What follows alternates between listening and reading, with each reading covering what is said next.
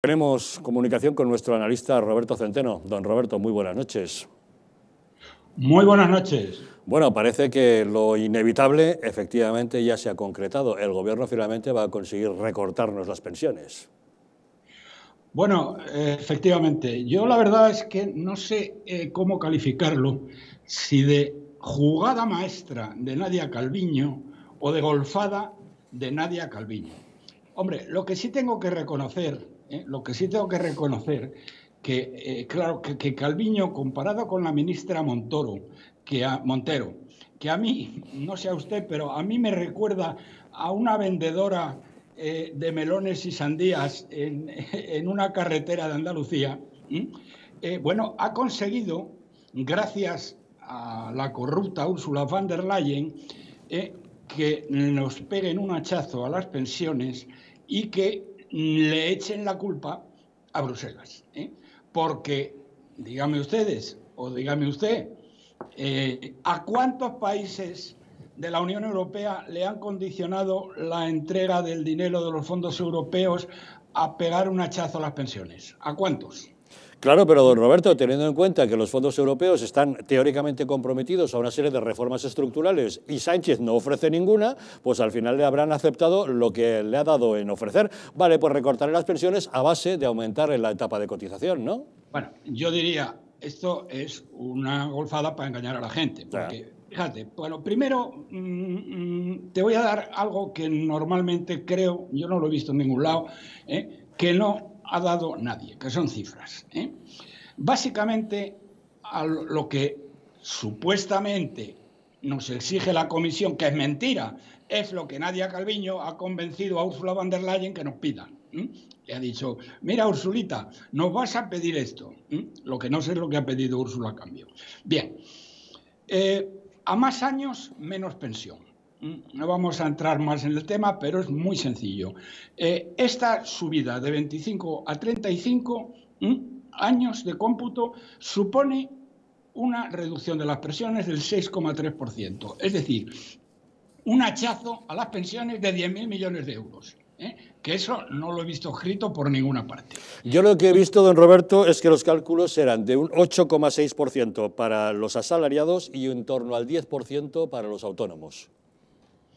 Eh, no me sale a mí tanto. No me sale a mí tanto. vale, lo dejamos entonces en un 6 y pico por ciento. Perdón, lo cual no quiere decir que tenga razón, ¿eh? Yo, porque es unos cálculos relativamente rápidos. Hombre, lo he hecho comparativamente a lo que había ocurrido eh, con eh, la subida de 15 a 25 años en el año 11, que fue un 5 y pico por ciento y ahora más o menos sería esto, unos 10.000 millones. De todas maneras, digo lo siguiente, eh, no es, es, necesario, pero no es suficiente, ¿eh? porque el agujero de las pensiones este año va a ser de 44.000 millones que nos presta el Banco Central Europeo. ¿eh? 44.000. Bien, y luego después aumentan las bases de cotización. Que sepan aquellos que tengan sueldos de más de 45.000 brutos, 45.000 euros brutos al año, ¿eh? Tienen la base topada, la van a destopar y por lo tanto les van a subir las cuotas de la seguridad social, que es un nuevo impuesto que tendrán que pagar aquellas personas con sueldos brutos, insisto, de más de 45.000 euros. Ahí estaban hablando de subir en torno a un 0,5% esas cuotas, de los que a lo mejor 3 céntimos sería para la empresa y 2 para el trabajador, quizás el reparto. No, eh, me estoy refiriendo, esto, esto sería para el trabajador solo y exclusivamente. ¿eh? Los, lo, que, lo que le subirían. Esa cifra no la han calculado, luego después a la empresa le toca también otra parte, que sí, que es aproximadamente los dos tercios. Pero fíjate lo golfos, lo mentirosos y lo tramposos que son estos tíos. Escriba, hace unos pocos días. Es absolutamente falso que vaya a haber un recorte en las pensiones. Pero vamos a ver, escriba, pero ¿cómo tienes tanta cara dura? Si tú sabías que Calviño estaba negociando con von der Leyen que nos obligaran a hacer eso, es que tienes una cara dura que no hay por dónde cogerte. Dice el tío, continúa, no hay ningún nuevo acuerdo con Bruselas sobre el periodo para calcular las pensiones. Bueno, la verdad es que es absolutamente de guasa. UGT y comisiones obreras.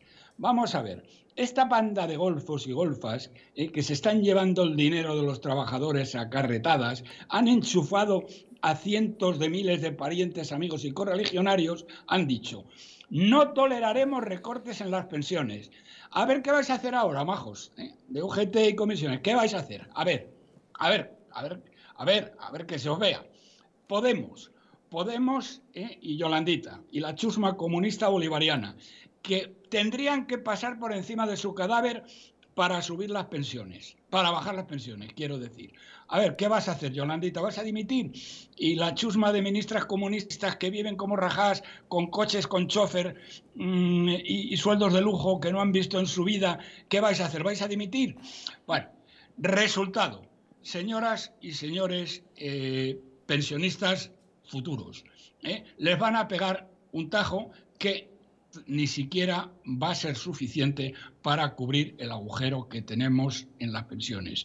Yo, perdón, yo lo único que espero es que este nuevo partido que se ha creado de España vacía, que puede que ayer le daba el español en una encuesta que habían hecho, que es la primera, le daban 15 escaños, nada más y nada menos, lo que significa querido Javier, que puede cambiar totalmente el panorama, eh, digamos, electoral español, que los señores de la España vacía sepan que estos golfos les van a pegar un hachazo tremendo a las pensiones y que tengan muy bien en cuenta a quién van a votar. Pues ahí queda esa advertencia, sí señor. Don Roberto Centeno, muchas gracias por habernos acompañado en Los Intocables.